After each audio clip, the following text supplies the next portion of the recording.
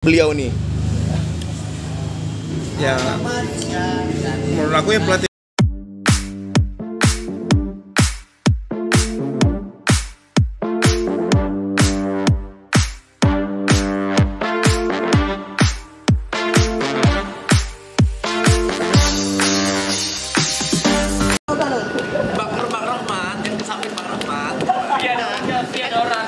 dia kan ke kanan nih. Joko. Penghuni tetap dari Abang Dah TSTN Kopi TSTN Kopi begadang terus ada bola nggak ada bola beliau tetap begadang sayangan Dwika ada manik siap siap siap Wah, apa lagi tahun berapa? Halo orang-orang Skambal 2 TV yang pakai baju ini hijau atau biru sih? hijau lah Hijau lah ya. Mereknya krokodil mah. Mahal punya barang nih. Bang, langsung aja to the point lah, ya kan. Gimana perasaan Abang bisa buat berapa dua gol ya? Lawan PSMS Medan. Gimana perasaan Abang? ya biasa karena kan setiap uji coba aku main di Putra Buana ikut Putra Buana ikut PSAD Sumut jangan lupa lah, Sumut FC. ah, Sumut FC ya kayak biasa nggak nggak ada nggak ada nggak ada yang spesial Tapi kalau menurut eh, story dari Gusti Lubis, Abang kayaknya mainnya total kali, betul ya? enjoy aja sih menikmati lebih enjoy Kok Ah. bisa menikmati? Emang kenapa arti menikmati nih versi seorang Rahmat Hidayat? Karena Ya. udah klop dengan anak-anak PSAD. ya juga satu satu lagi karena bermain lawan tim Liga 2 dari PSMS Medan Oh gitu. Terus abang buat gol cantik tadi bang. Ada dikirim Pak Wito aku video ya kan. Bang Supardi yang jaga bang tuh ya. ya Abang lewati, abang syuting gol. Itu gimana? Kok bisa sepersekian detik abang berpikir buat gol kayak gitu? ya karena kipernya naik tadi makanya aku lihat kiper naik langsung aku tendang dari jauh Gol.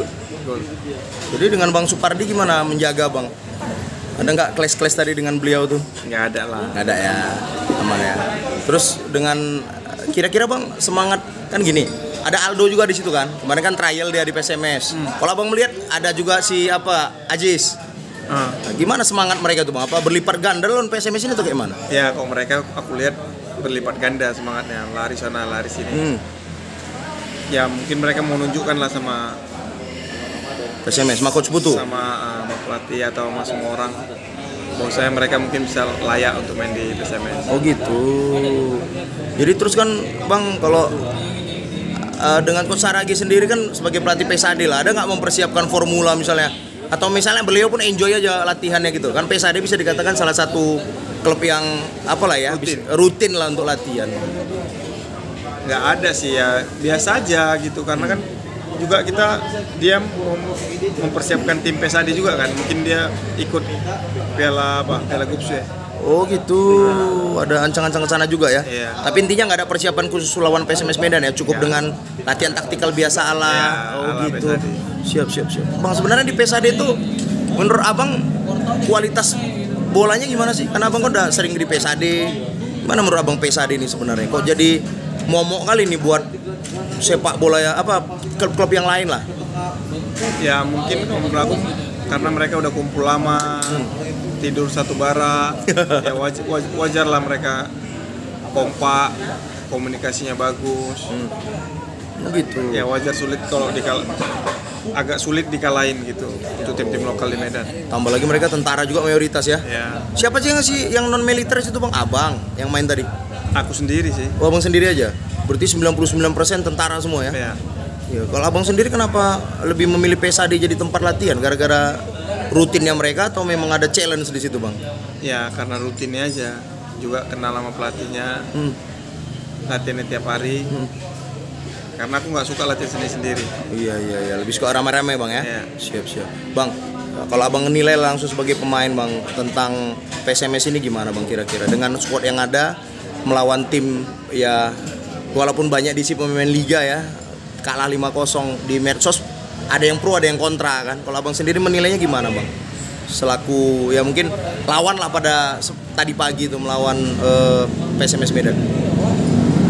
Ya mudah-mudahan nanti pas kompetisi ada banyak perubahan cara tim gitu mereka dan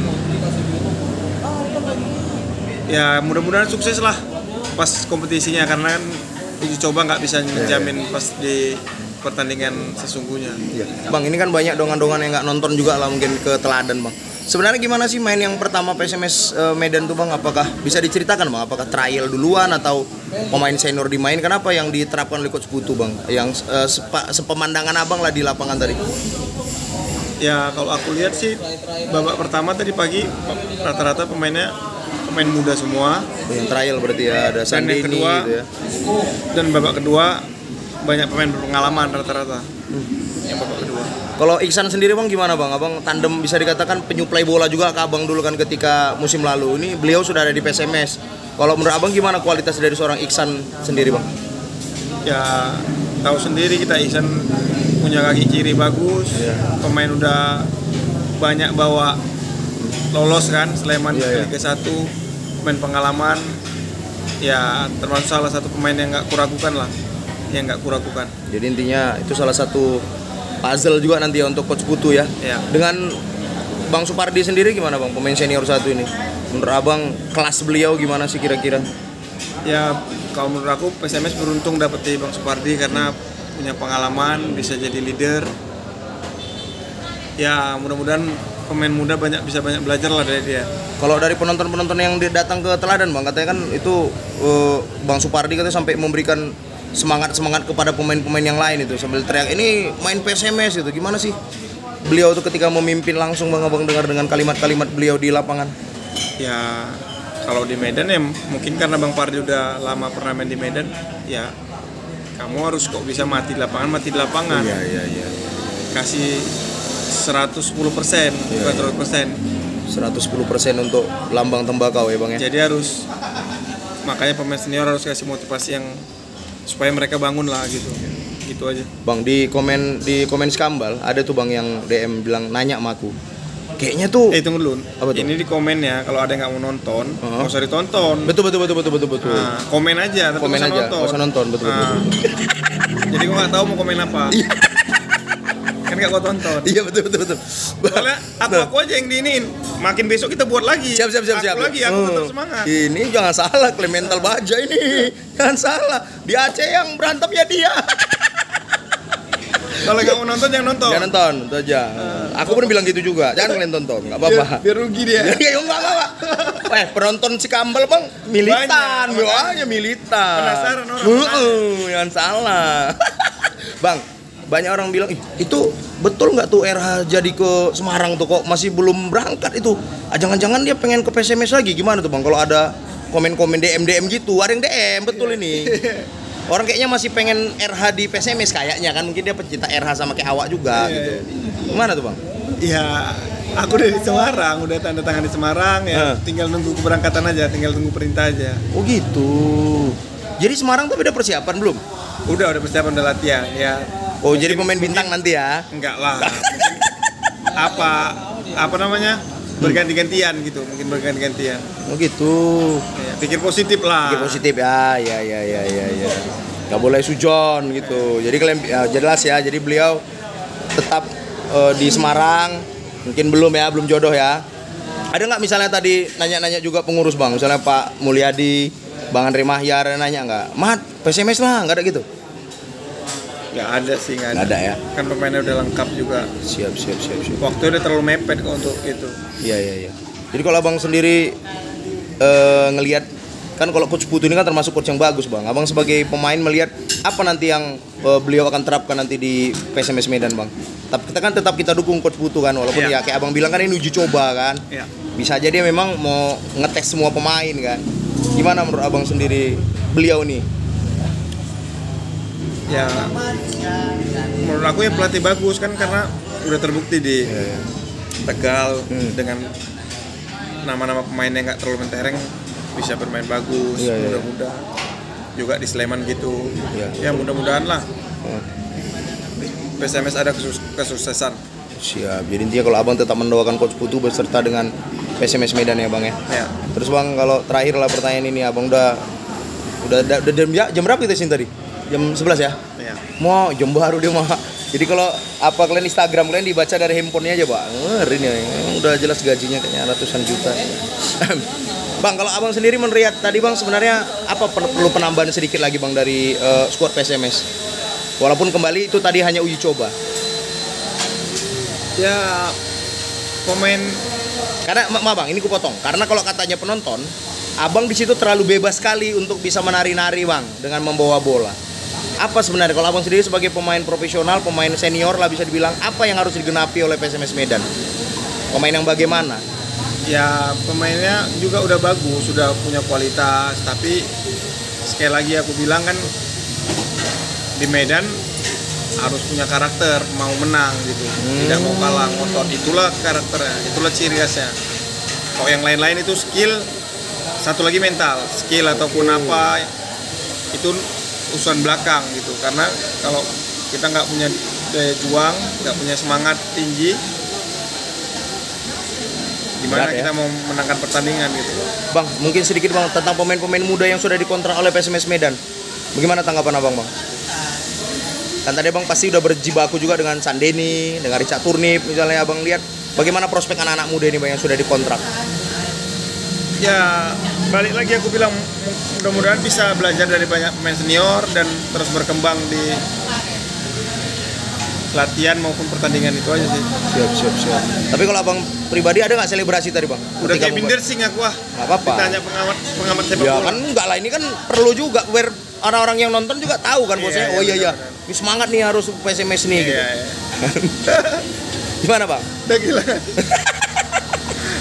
Anjir lah bang. Jadi gimana bang? Gimana tentang apa tadi? Aku jadi lupa apa tadi mau tanya tadi. Gara-gara abang ini jadi ada juga iklan. Oke oke pertanyaan terakhir nih Liverpool. Abang kemarin pernah terakhir nih Liverpool lawan Madrid. Apa abang dukung nih? Liverpool lah Kita lihat Rahmat Hidayat, dia keping, dia dorong, Rahmat, masih Rahmat, dia pressing, jauh! Gol, gol, gol, gol, gol, gol, gol, gol, gol, gol. Mamayu, Mamayu, Mamayu. Inilah si raja jalanan, penari lapangan hijau, meliuk-liuk Rahmat Hidayat melewati daripada Suar, Supardi, lalu dia tekan langsung ke jantung pertahanan lawan. Akhirnya dengan tendangan yang begitu akurat melulu lantakan penjaga gawang muda PSMS Medan merubah skor menjadi 5-0 untuk PSAD Panser Panser Hijau. Pasukan-pasukan Ridwan Saragi dan M. Rijal. Kita kualitas sudah bagus semua ya. Dan kita juga tetap mendoakan coach Putu. Amin. Untuk lebih bisa memberikan prestasi untuk PSMS Medan. Walaupun mungkin dia ada statement juga aku lihat di media official dia bilang mungkin hati-hati juga pemain-pemain yang sudah dikontrak bisa jadi coret nantinya gitu. Jadi intinya tetap mental bisa aja itu mob ya Bang ya. Supaya yang lain bisa terpacu kan cywarnya. Jadi bisa aja dia mungkin nggak sekejam itu gitu kan. Tapi ya mudah-mudahan lah seperti dikatakan oleh Bang RH tadi karena dia melawan langsung PSMS Medan saat ini tadi pagi ya udah ayo kasihkan berikan terbaik adik-adik semua ada Bang Supardi yang siap untuk memimpin kalian. Itu aja mungkin dengan dengan percakapan 12 menitan kita dengan seorang Rahmat Hidayat dan beliau tetap ke Semarang. Ya kan jadi kalau kalian nanya, ya memang dia sudah enjoy bermainnya seperti ini disampaikan. Mudah-mudahan ya sukses juga di sana beliau. Ya kapan berangkat minggu ini Bang ya? ya. Siap. Ya, hati-hati di jalan Bang. Kalau kami sebagai fans mendoakan Abang sukses di sana dan mudah-mudahan banyak gol dicetak di sana dan gajinya makin naik dan kami tetap ya Abang dah. Abang dah lagi kita rayu. Raja dengan makasih banyak. Thank you. Dadah.